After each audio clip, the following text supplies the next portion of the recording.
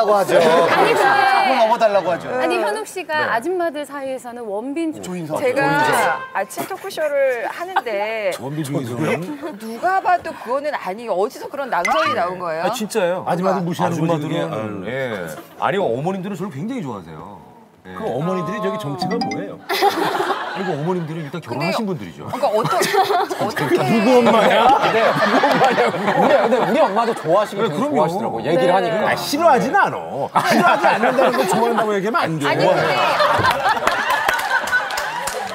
다른 건 모르겠지만 두 가지는 꼭 믿어주세요. 첫 번째는 결혼하신 분들에게 인기가 많습니다.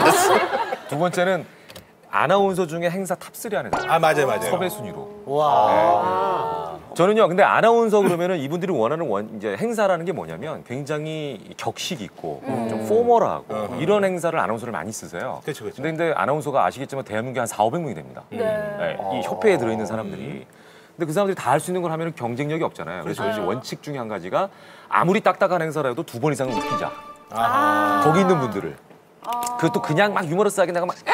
이렇게 해서 웃기는 게 아니라 격조 있게 뭔가 거기에 맞는 말을 갖다 아니 누가 붙여가지고. 웃기네 왜 이렇게 웃겨요? 왜 이렇게 웃겨요? 행사하는데. 근데 행사 갔는데 말이죠. 그러니까 예를 들면 이런 거죠. 이제 본인 스타일. 굉장히 격식 있게 해야 되니까 딱 가면 네 안녕하세요. 오늘 사를 맡은 아나운서 김현욱입니다. 어, 오늘 제가 이 자리에 서게 된 이유는요. 어, 이 자리에 맞는 아나운서를 뽑는 인터넷 투표를 했다는 얘기를 들었는데 네, 다들 하셨죠? 거기에 제가 당당히 오늘 함께하고 싶은 MC 1위로 뽑히고 싶습니다. 이렇게 끝내요, 거기를. 그 거기서 이 사람들이 언제 언제 투표를 했지? 막 이런 생각을 하세요. 예. 아, 그게 대단한 skill이에요? 너무 안일하게 하시는 거 아니에요, 지금? 아, 예를 들면 여러 가지가 있는데 대단한 skill이에요? 여러 가지가 있는데 굉장히 formal한 행사할 때는 그 정도까지 해도 웃긴다는 얘기예요. 그러면 정말 웃겨야 되는. 개그를 여러 개를 해요. 근데 예전에 MBC에서 우리의 소리를 찾아서라는 코너가 있었어요. 네. 그거를 개그화 시킨 게 있어요. 우리의 소리를 찾아서. 큰아들은 판사고 둘째놈은 변호사고 셋째놈은 검사고 큰아들은 판사고 둘째놈은 변호사고 셋째놈은 검사고 이 소리는 화신의 신동엽 씨가 뻥치는 소리입니다. 뻥치는 소리입니다. 뭐 이렇게 하는 개그가 있어요. 아, 얘를 안 통하네 이게. 아니 잠깐만 잠깐만 잠깐만. 차라리 처음에 네? 이게 더 나은 것 같아요. 잠깐만 잠깐만. 그렇게 하겠습니다. 네. 저희 제시 지금 이렇게 스케치북을 들어주는데 이거 인터뷰할 때 이것만큼은 영업 비밀이라 자기는 안 하겠다고 그랬거든요. 이거 아니면 다른 사람들이 다 써먹기 때문에. 아, 진짜로요? 김현욱 씨. 어, 지금 순간적으로 김현욱 씨 너무 이렇게 째려봐가지고. 아, 약간 좀. 아니요. 제가 이렇게 아, 앞을 보고 방송을 하잖아요. 근데 너무 목소리가 좋으신 거예요. 그게 웃음 포인트가 안 되는 것 같은 것 같아요. 아. 네. 목소리 정말 네, 이렇게 듣다가 눈을 감고 들었는데 너무 좋 아, 눈을 감고 들었어, 진짜? 네.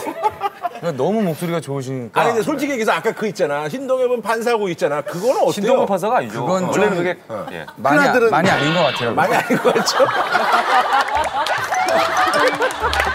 연예인들한테 이런 풍문이 도는 거는 사실 인성 자체 어떤 의심을 받을 수 있는 그런 풍문이거든요. 요즘에는 또 예. 이런 풍문 돌고 그러면 조금 치명적이긴 하죠. 예. 자, 뭐지?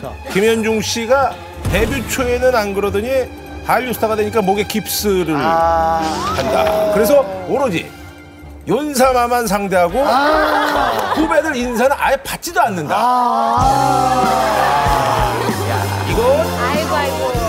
아니, 근데 이게 들었어요. 근데. 아니, 가만 있어봐. 이거, 이거는 방송에서 하면 안 되는 거 아니에요? 왜냐면 우선은 그냥 우리끼리만 하고. 이쪽도 선배는 선배인데 예, 또 같은 사무실이잖아요. 이쪽은 사마가 아니잖아요. 그냥 가르치기 아니야.